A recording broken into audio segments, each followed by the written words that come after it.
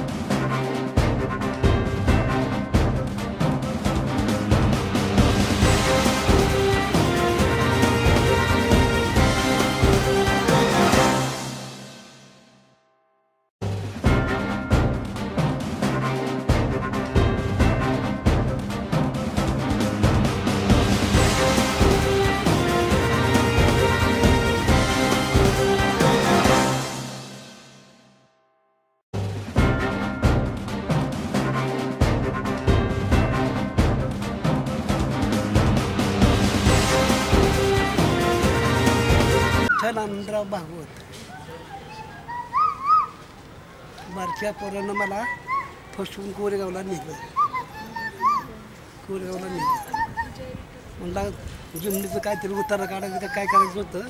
मग त्यानं नेलं मला कोरेगावला. बस एवढं म्हणलं तुम्ही जावा म्हणलं. मग मी आपला मग मी आपला एस टीनं इकडं आलो.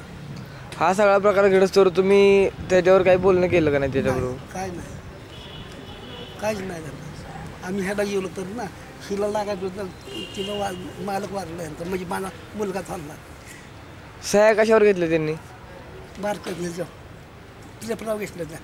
आणि तिथे गेलं कोर्टात त्यांना नेले. माझं नाव वनिताताई संतोष जाधव.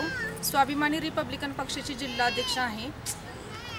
आज विठ्ठल आनंदराव भागवत व छाया भागवत यांच्यावर अन्याय होत असताना आज जवळजवळ दोन ते तीन महिने झालं मला ते शोधत शोधत माझ्यापर्यंत आलेत माझ्या ऑफिसपर्यंत की मॅडम आमच्यावर असा असा अन्याय झालेला आहे म्हणून. आज त्यांचा धाकटा मुलगा आणि थोरला मुलगा एक्सपायर झालेला आहे. धाकटा मुला मुलांनी दुय्यम निबंधक तहसील कचेरीत जाऊन आज एक थोरला मुलगा एक्सपायर झालेला असून सुद्धा आज त्या त्यांची धाक थोरली सून माहेरी गेली होती दुःख सांडण्यासाठी. धाकट्या मुलांनी वडिलांना नेऊन सगळी जमीन खाते उतारे सगळे नाव फसवणूक करून की आपल्या जमिनीचं काम आहे असं असं आपण लगेच जाऊन येऊया म्हणून बक्षीसपत्र करून घेतलेलं आहे. तर ते बक्षीसपत्र आज सगळ्यांचा त्यांच्या दोन मुलींचा अधिकार त्याच्यावर आहे. आज विठ्ठल आनंदराव भागवत आहे त्यांच्या दोन मुलींचा अधिकार आहे त्यांच्या नातींचा अधिकार आहे त्यांची थुरली सून आहे त्यांचा सुद्धा अधिकार आहे. आज त्यांनी जी फसवणूक करून जमीन घेतली नाव करून आज ह्या म्हातारे म्हातारे माणसांनी जायचं कुठं?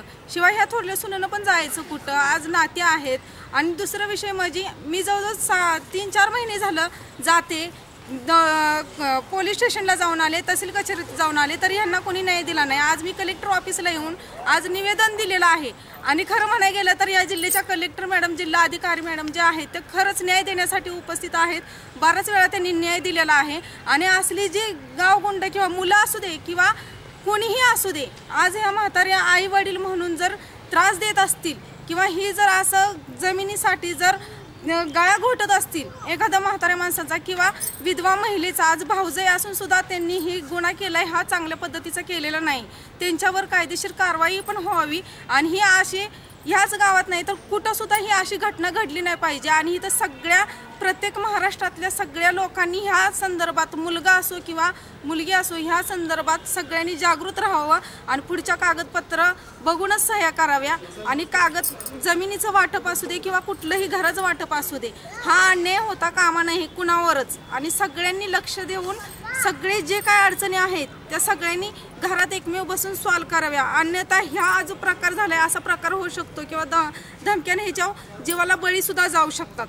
तर खरं सांगायचं म्हटलं तर हा जो न्याय आहे हा कुठं ना कुठं तरी ह्या लोकांना अन्याय मिळावा न्याय मिळावा आणि ह्यांचं जे काही घटना ह्यांच्याबाबत झाली ते त्यांना बक्षीसपत्र रद्द करून भेटावं एवढी मी नम्र विनंती करते आणि याच्यावर माझं कलेक्टर मॅडमना आणि सगळ्या लोकांना शुभेच्छा देते की आज लोकशाही दिन आहे. तर लोकशाही दिनानिमित्त सगळ्यांनी चांगल्या पद्धतीचं राहावं ही विनंती करते मी. कार मी वनिता भंडारे सामाजिक कार्यकर्ते वैभव सामाजिक संस्थेचे नियोजन कमिटीवर अध्यक्ष जिल्हाध्यक्ष. विठ्ठल भागवत आज यांच्यावर अन्याय हो अन्याय झालेला आहे. त्यांच्या स्वतःच्या मुलाने धाकल्या मुलाने त्यांच्यावर जमिनीवर कब्जा केलेला आहे. तर हे खरंच म्हणजे एक विचित्र बाब आहे. ही एक सुनबाई त्यांचं सांभाळ करतात. आणि मुलगा असं म्हणजे त्यांना रस्त्यावर आणलेला आहे. अक्षरशः त्यांची फसवणूक केलेली आहे. जमीन वगैरे त्यांचे सया फसवणूक करून घेतलेल्या आहेत. तर मला वाटतं की आम्ही आत्ताच कलेक्टर मॅडमना निवेदन दिलं. तर त्यांच्यावर खरंच कारवाई व्हावी. रेकुंड फसवणूक दिराने आमच्या केलेली आहे. गोड बोलून नेलेलं आहे. कोरेगावला सह्या घेतलेल्या आहेत. ते सासऱ्याने आम्हाला काहीसुद्धा बोलले नाहीत किंवा काय नाहीत. घरातल्यानी काहीसुद्धा बोलले नाहीत. मी सात बारा खाती उतारा नाही गेली. तेव्हा ते मला माहिती पडलेलं आहे. तेव्हा ते मी म्हटलं इथून पुढं मी सावध झाली आणि चालूच माझा मार्ग चालूच आहे. एवढंच मी सांगते आता.